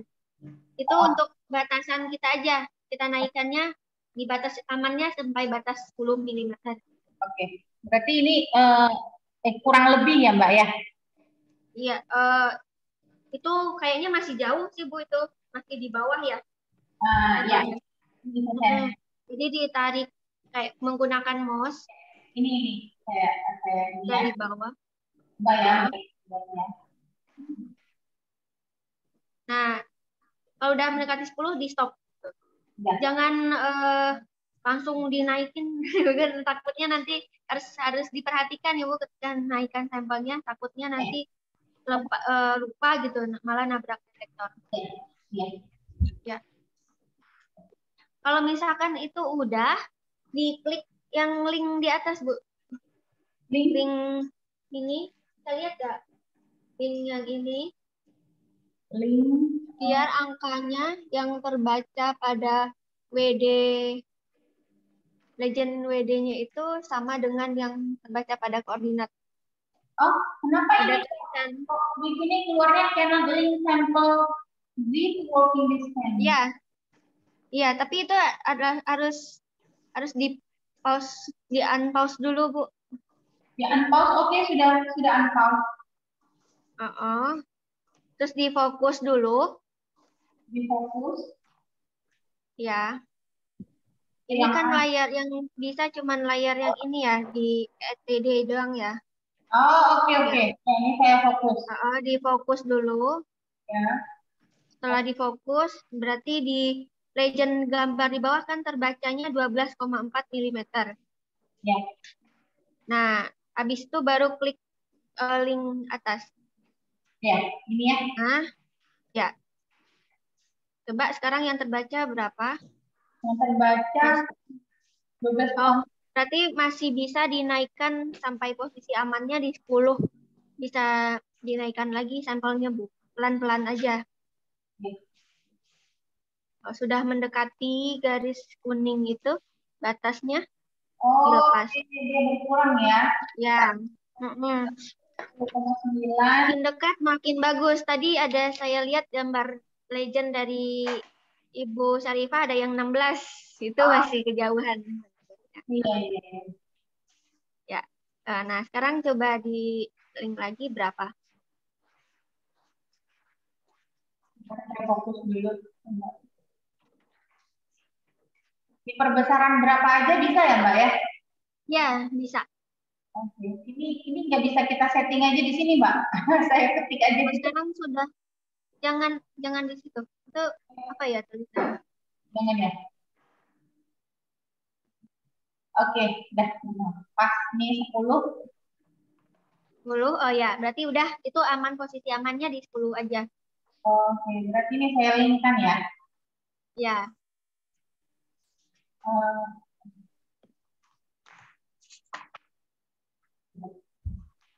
Jadi kalau 10 itu sudah dipastikan fokus gitu ya? Fokusnya udah bagus gitu ya? Iya. Kalau kita pilih Ini kayaknya fokus, uh, bisa diatur fokus lagi, bisa misalkan Ibu Sarifah mau ambil di 100 kali gitu, fokusnya bisa dibuat di 4000 eh 1000 mau ambil 1000 fokusnya di 4000. Biar lebih presisi. Nah, misalkan fokus di sini. Oh iya, cantik. Nah, kalau 16 WD-nya 16 itu masih jauh. Fokusnya ya. juga kurang bagus gitu, Bu. Fokusnya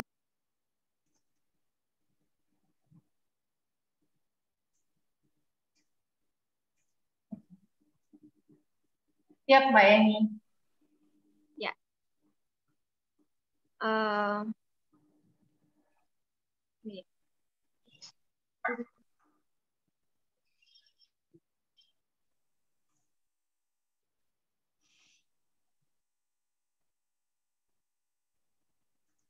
Halo. Ini Pak Agus mau nambahin? Ya, ini tadi terkait terkait CBS tadi. Iya Pak. Ini saya udah tanya Pak Punco. Iya Pak. Pak Punco bilang perlu pemeriksaan karena kan sebelumnya kata Pak Punco ya. itu eh, tidak ada masalah dengan SEM-nya. Nah tapi tapi memang itu harusnya kalau ETD-nya atau secondary-nya sudah dapat gambar, uh, untuk dapat yang CBS-nya itu hanya tinggal mengatur kontras dan brightness. Kalau ini kan kontras dan brightness-nya sudah oke okay, tapi kok nggak muncul gambar. Nah itu. Di tapi itu mana tadi gambarnya CBS-nya itu sudah Pagennya udah tertulis CBS ya? Eh, kenapa Pak? Pagennya sudah tertulis CBS. CBS, sebentar ya Pak, saya uh, ke sana. Di, di apa namanya? Di monitor di layar SEM. Tadi sudah. Sudah CBS.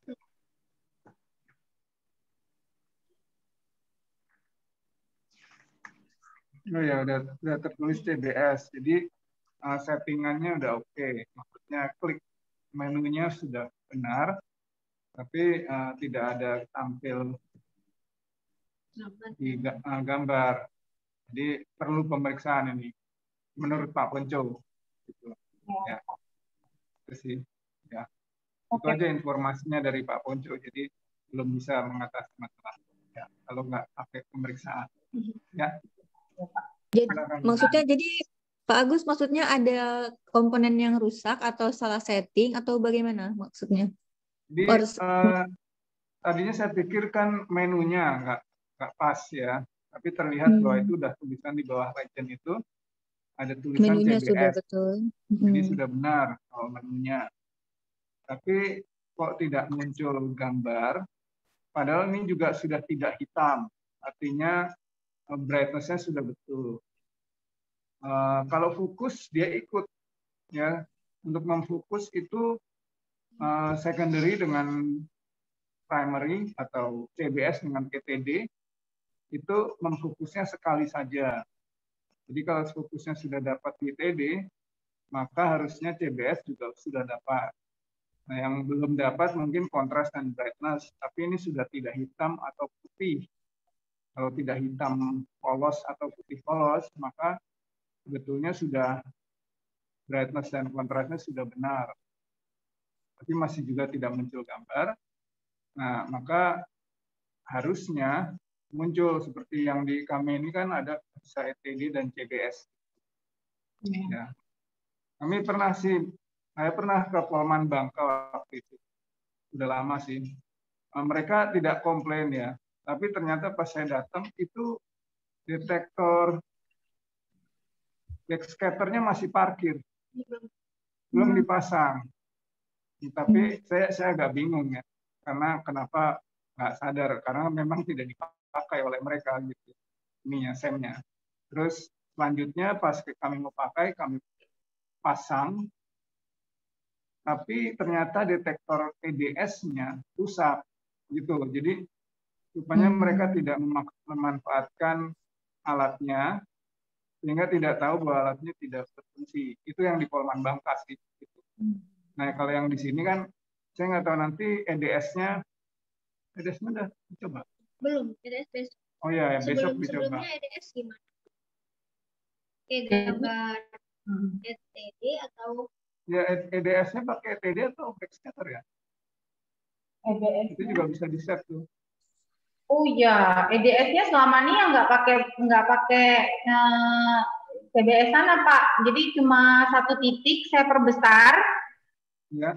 Uh, jadi dia fokus di uh, ya maksudnya supaya nggak kena karbon tape biasanya gitu uh, customer mintanya Pak.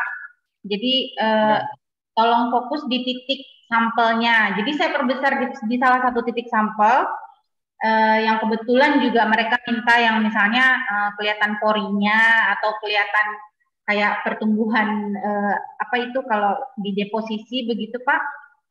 Ya. Uh, pertumbuhan inilah uh, posisinya itu Pak kan. Jadi saya perbesar ya. uh, di titik itu saja saya EDS dengan menggunakan yang ternyata kemarin namanya mapping.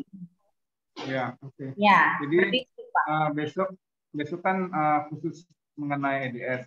Dan ya, besok ditunjukkan bagaimana cara memilih detektor yang mana yang dipilih. Jadi pada saat EDS ya, Pak. itu detektor SEM-nya juga berfungsi sebetulnya untuk oh untuk navigasi. navigasi. navigasi. Ya. Hmm. Jadi, nah kalau nanti pada saat men-set uh, pemilihan detektor untuk navigasi itu, hmm. itu bisa dipilih CBS atau ETD juga. Nah, nanti eh, besok ditunjukkan cara memilihnya. Nah, hmm. terus besok juga kami ingin tahu uh, di alat Anda itu di setnya ke mana. Kalau ternyata di CBS, berarti CBS nggak masalah. Gitu. Eh, Jadi kalau ternyata, hmm, ETD Pak selama ini Pak? ETD. Oh, iya. iya. Berarti, berarti selama ini BSE-nya memang nggak digunakan, Bu?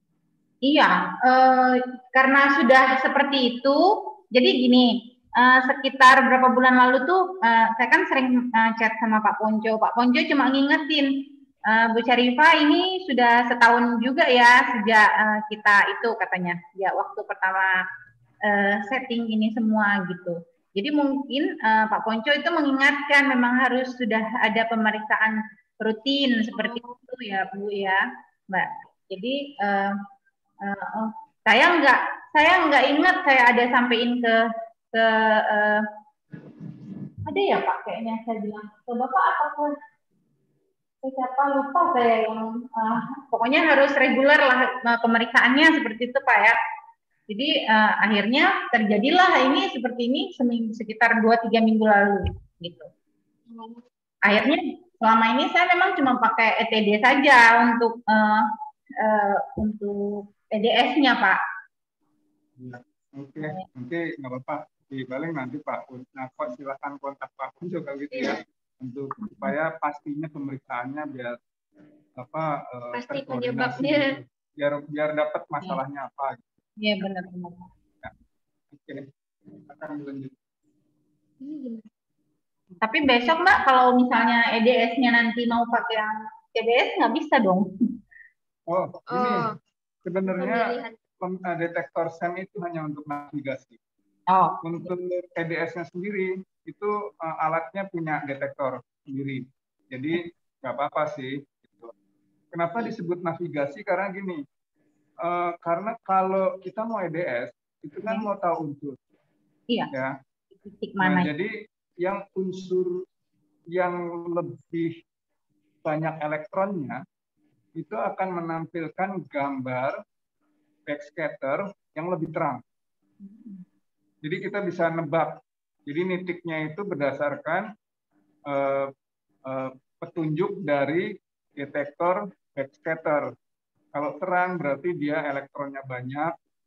Nah kalau memang kita interestnya di misalnya metal, itu kan biasanya lebih terang daripada karbon. Karbon selalu ada soalnya. Lebih terang juga daripada uh, O gitu. Jadi berarti pada saat EDS kita titik kita pilih daerah untuk dititikin itu daerah yang terang gitu.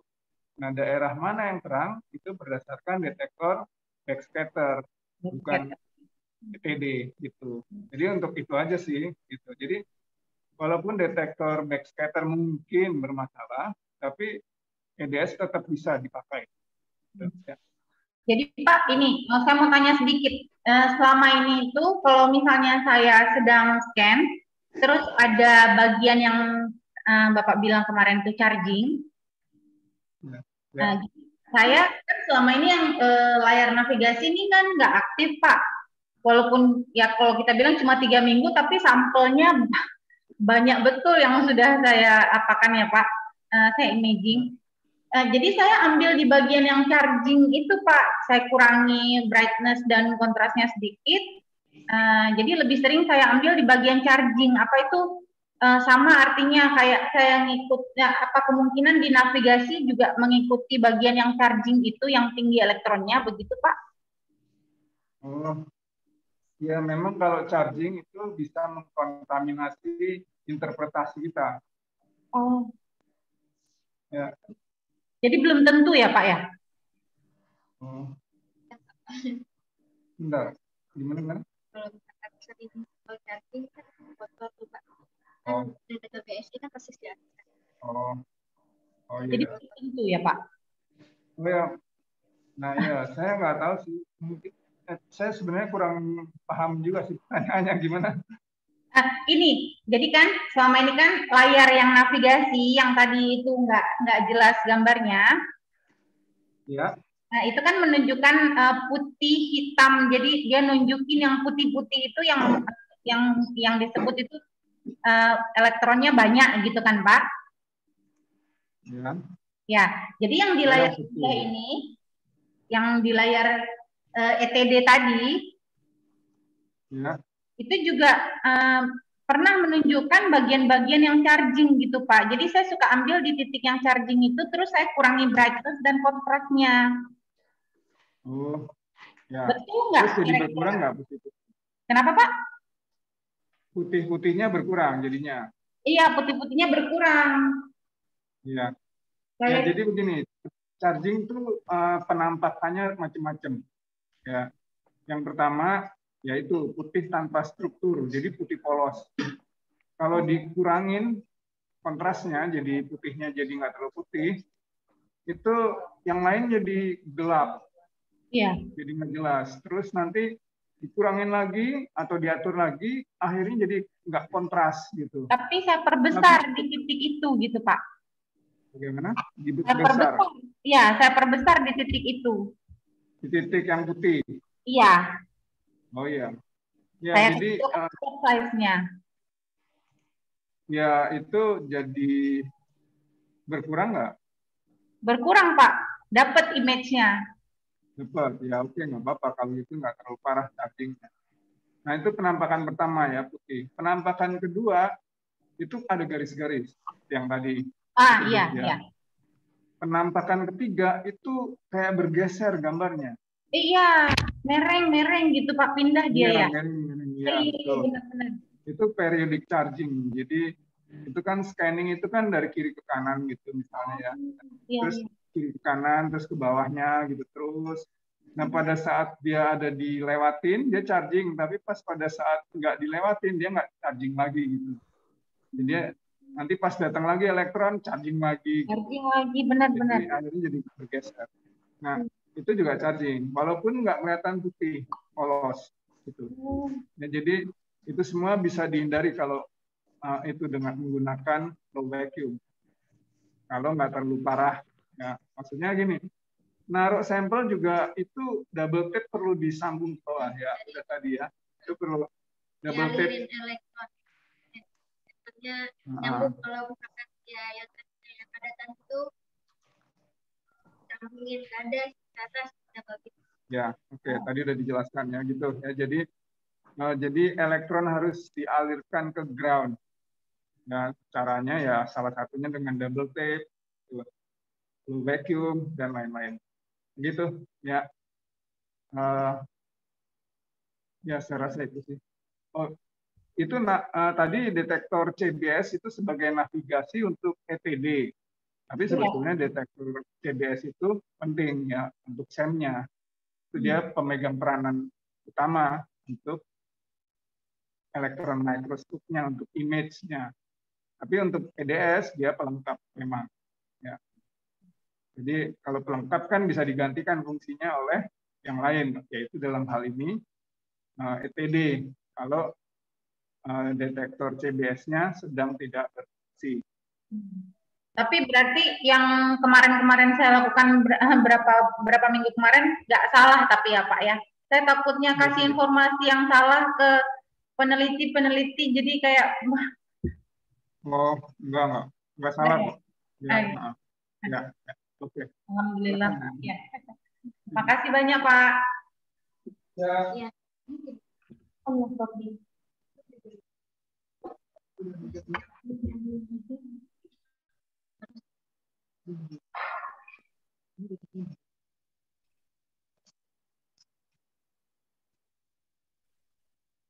Hmm, untuk SEM untuk training SEM-nya eh, prosedur operasi SEM kira-kira sampai sini udah selesai Bu. Eh, apakah ada pertanyaan lagi? Atau uh, gimana? Kalau misalkan nggak ada, tapi untuk hari ini dicukupkan dulu ya. Alhamdulillah ini uh, informasi yang mau saya tanyakan udah terjawab semua rata-rata Mbak. Nanti kalau ada muncul lagi saya japri ya. ya, boleh Bu, silahkan.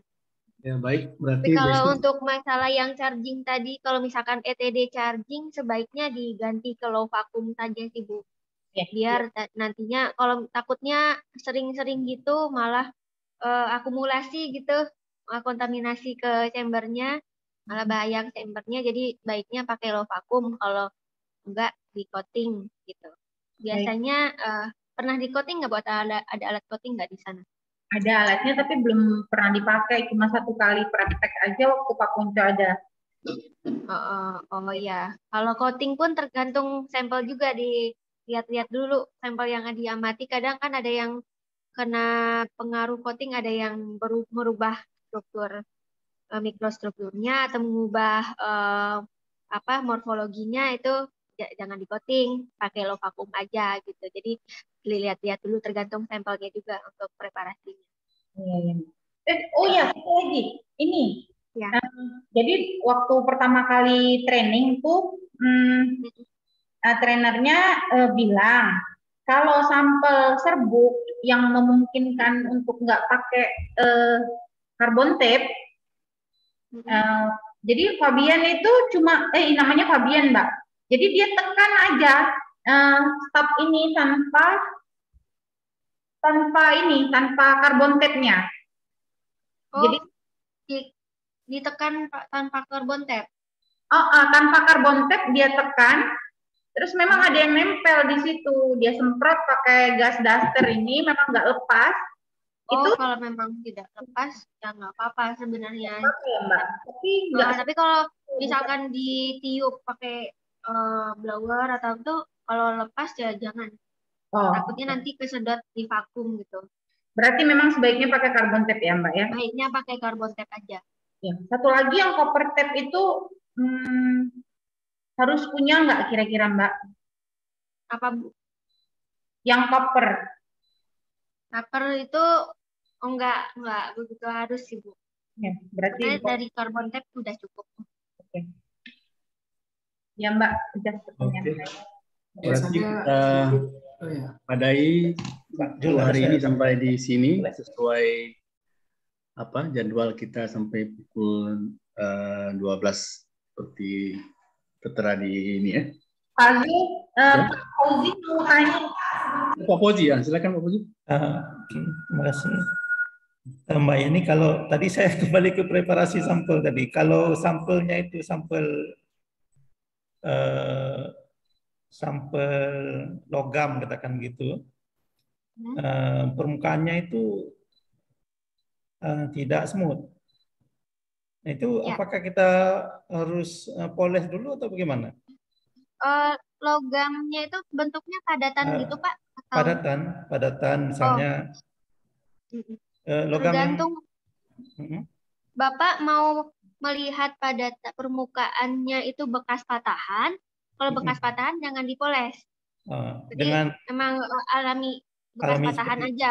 Okay. Tapi kalau Bapak ingin mengamati permukaan mikrostruktur atau melihat uh, ya struktur mikro dari uh, misalkan padatan kayak baja gitu.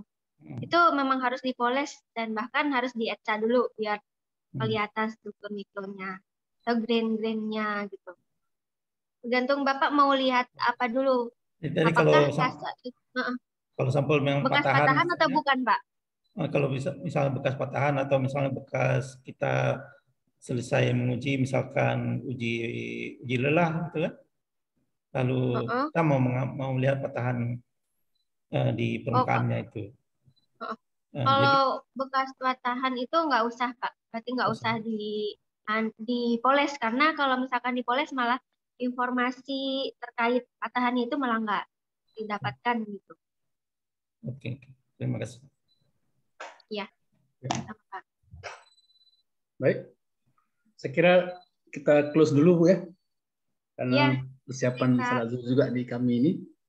Jadi insya Allah besok kita lanjutkan lagi tentu mungkin dengan ada pengayaan-pengayaan lagi dari Mbak Mbak Yeni barangkali ya, Insya Allah. ah, Oke. Okay. Jadi Bapak Ibu, eh, terima kasih atas kehadirannya untuk workshop hari kedua dan sekira sangat banyak tips ilmu praktis dari Mbak Yeni dan tadi sudah ditampung dengan sangat optimal oleh apa Bu Saripah. Mudah-mudahan nanti akan lebih banyak lagi uh, apa mendapatkan inspirasi untuk membuat riset-riset yang berskala uh, internasional insya Allah. Jadi dari saya selaku moderator pada hari ini mengucapkan uh, salam sehat untuk kita semua. Insya Allah kita bertemu lagi di forum yang uh, membahagiakan hati kita semua sekitar pukul 10 esok.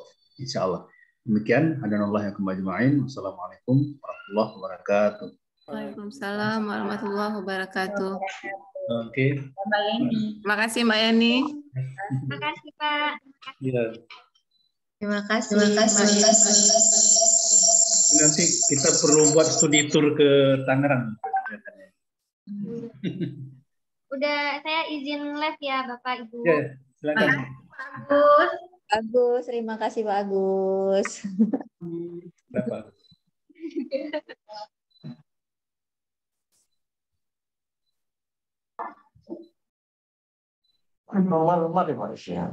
Oke. Okay. Uh, belum dikasih ya Pak ya? Silakan ngobrol-ngobrol barangkali ini. Absen ada ya Bu? Oh ada, harusnya ada. Oh, ada. Tapi kemarin belum dikirim tuh, belum absen kita. Absennya diduplikasi yang kemarin aja. oh, pajak kalau invoice belum dikirim ya? Belum, belum, belum dikirim. Oh ya, dengan pajaknya kan biar tahu kita bayarnya berapa ya? Oh, pajak kita juga yang bayar berarti? Kayaknya biasanya kalau, gitu orang. Hmm. Kalau potong pajaknya berarti kalau potong pajaknya kita yang bayar. Uh, kan dia bilang yang belum pajak. Belum potong pajak, Bu. Berapa persen tuh pajak biasanya? 15? Biasanya lima persen ya, Pak. Nah, Enggak, 15 berapa? Ke 15 ya. Pokoknya banyak juga sih lumayan. Gak apa-apa, kita ada 22 lah nanti. Ya, dari ilmu yang diberikan sebenarnya ini gimana terlalu nanti murah kan, kali ini ya. Nanti si IP kalau bisa tahun depan kita kirim ke sana. Hmm, kita kirim Biar lebih yakin lagi ya. Hmm. Pengen fokus, Bu, sebenarnya saya di lab sini aja. Kayak mana Pak Boji? Ya, nanti SRD cari orang lagi. Oh, gitu. Jadi bisa um, fokus gitu kan. Rupanya banyak kan yang IP belum tahu ya, sehingga mungkin takutnya kita salah kasih info ya kan? Ya banyak kali. Cuma tadi alhamdulillah udah dipastikan eh, ternyata nggak salah juga sih yang yang saya kerjakan ya Bu. Kasihan kasihan orang kalau nggak maksimal informasinya ya Pak Jul kan. Ya. Kalau Pak kan pelan-pelan namanya. Perlu ada orang yang spesial juga di X-ray ya. Mungkin Iya mungkin. kita Bagusnya buat- nanti buat pelatihan lagi ya Pak Jul ya, pelatihan X-ray ya, Hmm. XRD ya. Nah, artinya IPEH dia fokus di SEM, nanti di X-ray ada orang lain lagi siapa gitu ya. Iya. Iya. Atau kuat kuat masih IPEH mungkin beberapa alat ini sendiri. Eh, insya Allah Pak. Ah, Karena sementara belum ada yang diurus selain anak-anak, jadi saya urus alat-alat kita aja. Oh kode nih kode. kita carikan cari mengurus. baru. Padahal maksudnya boleh dikasih alat lagi kalau mau gitu. Oh iya ya. Latihan jauh-jauh kak gitu ke Jerman misalnya. Jangan jauh-jauh kali ada Om Omicron, Omicron. Harus dinilai gini. Ini ada nasi siang di situ nggak? Oh, nasi siang. Bisa kita siapkan. Ah, bisa kita beli Pak. Berapa orang nih? Mana Pak Edo ya? Bisa. Pak Edo masih ada. Bisa Pak Edo kan? Nggak ada masalah. Kita pesan aja ya. Apa Bu? Ya. Eh,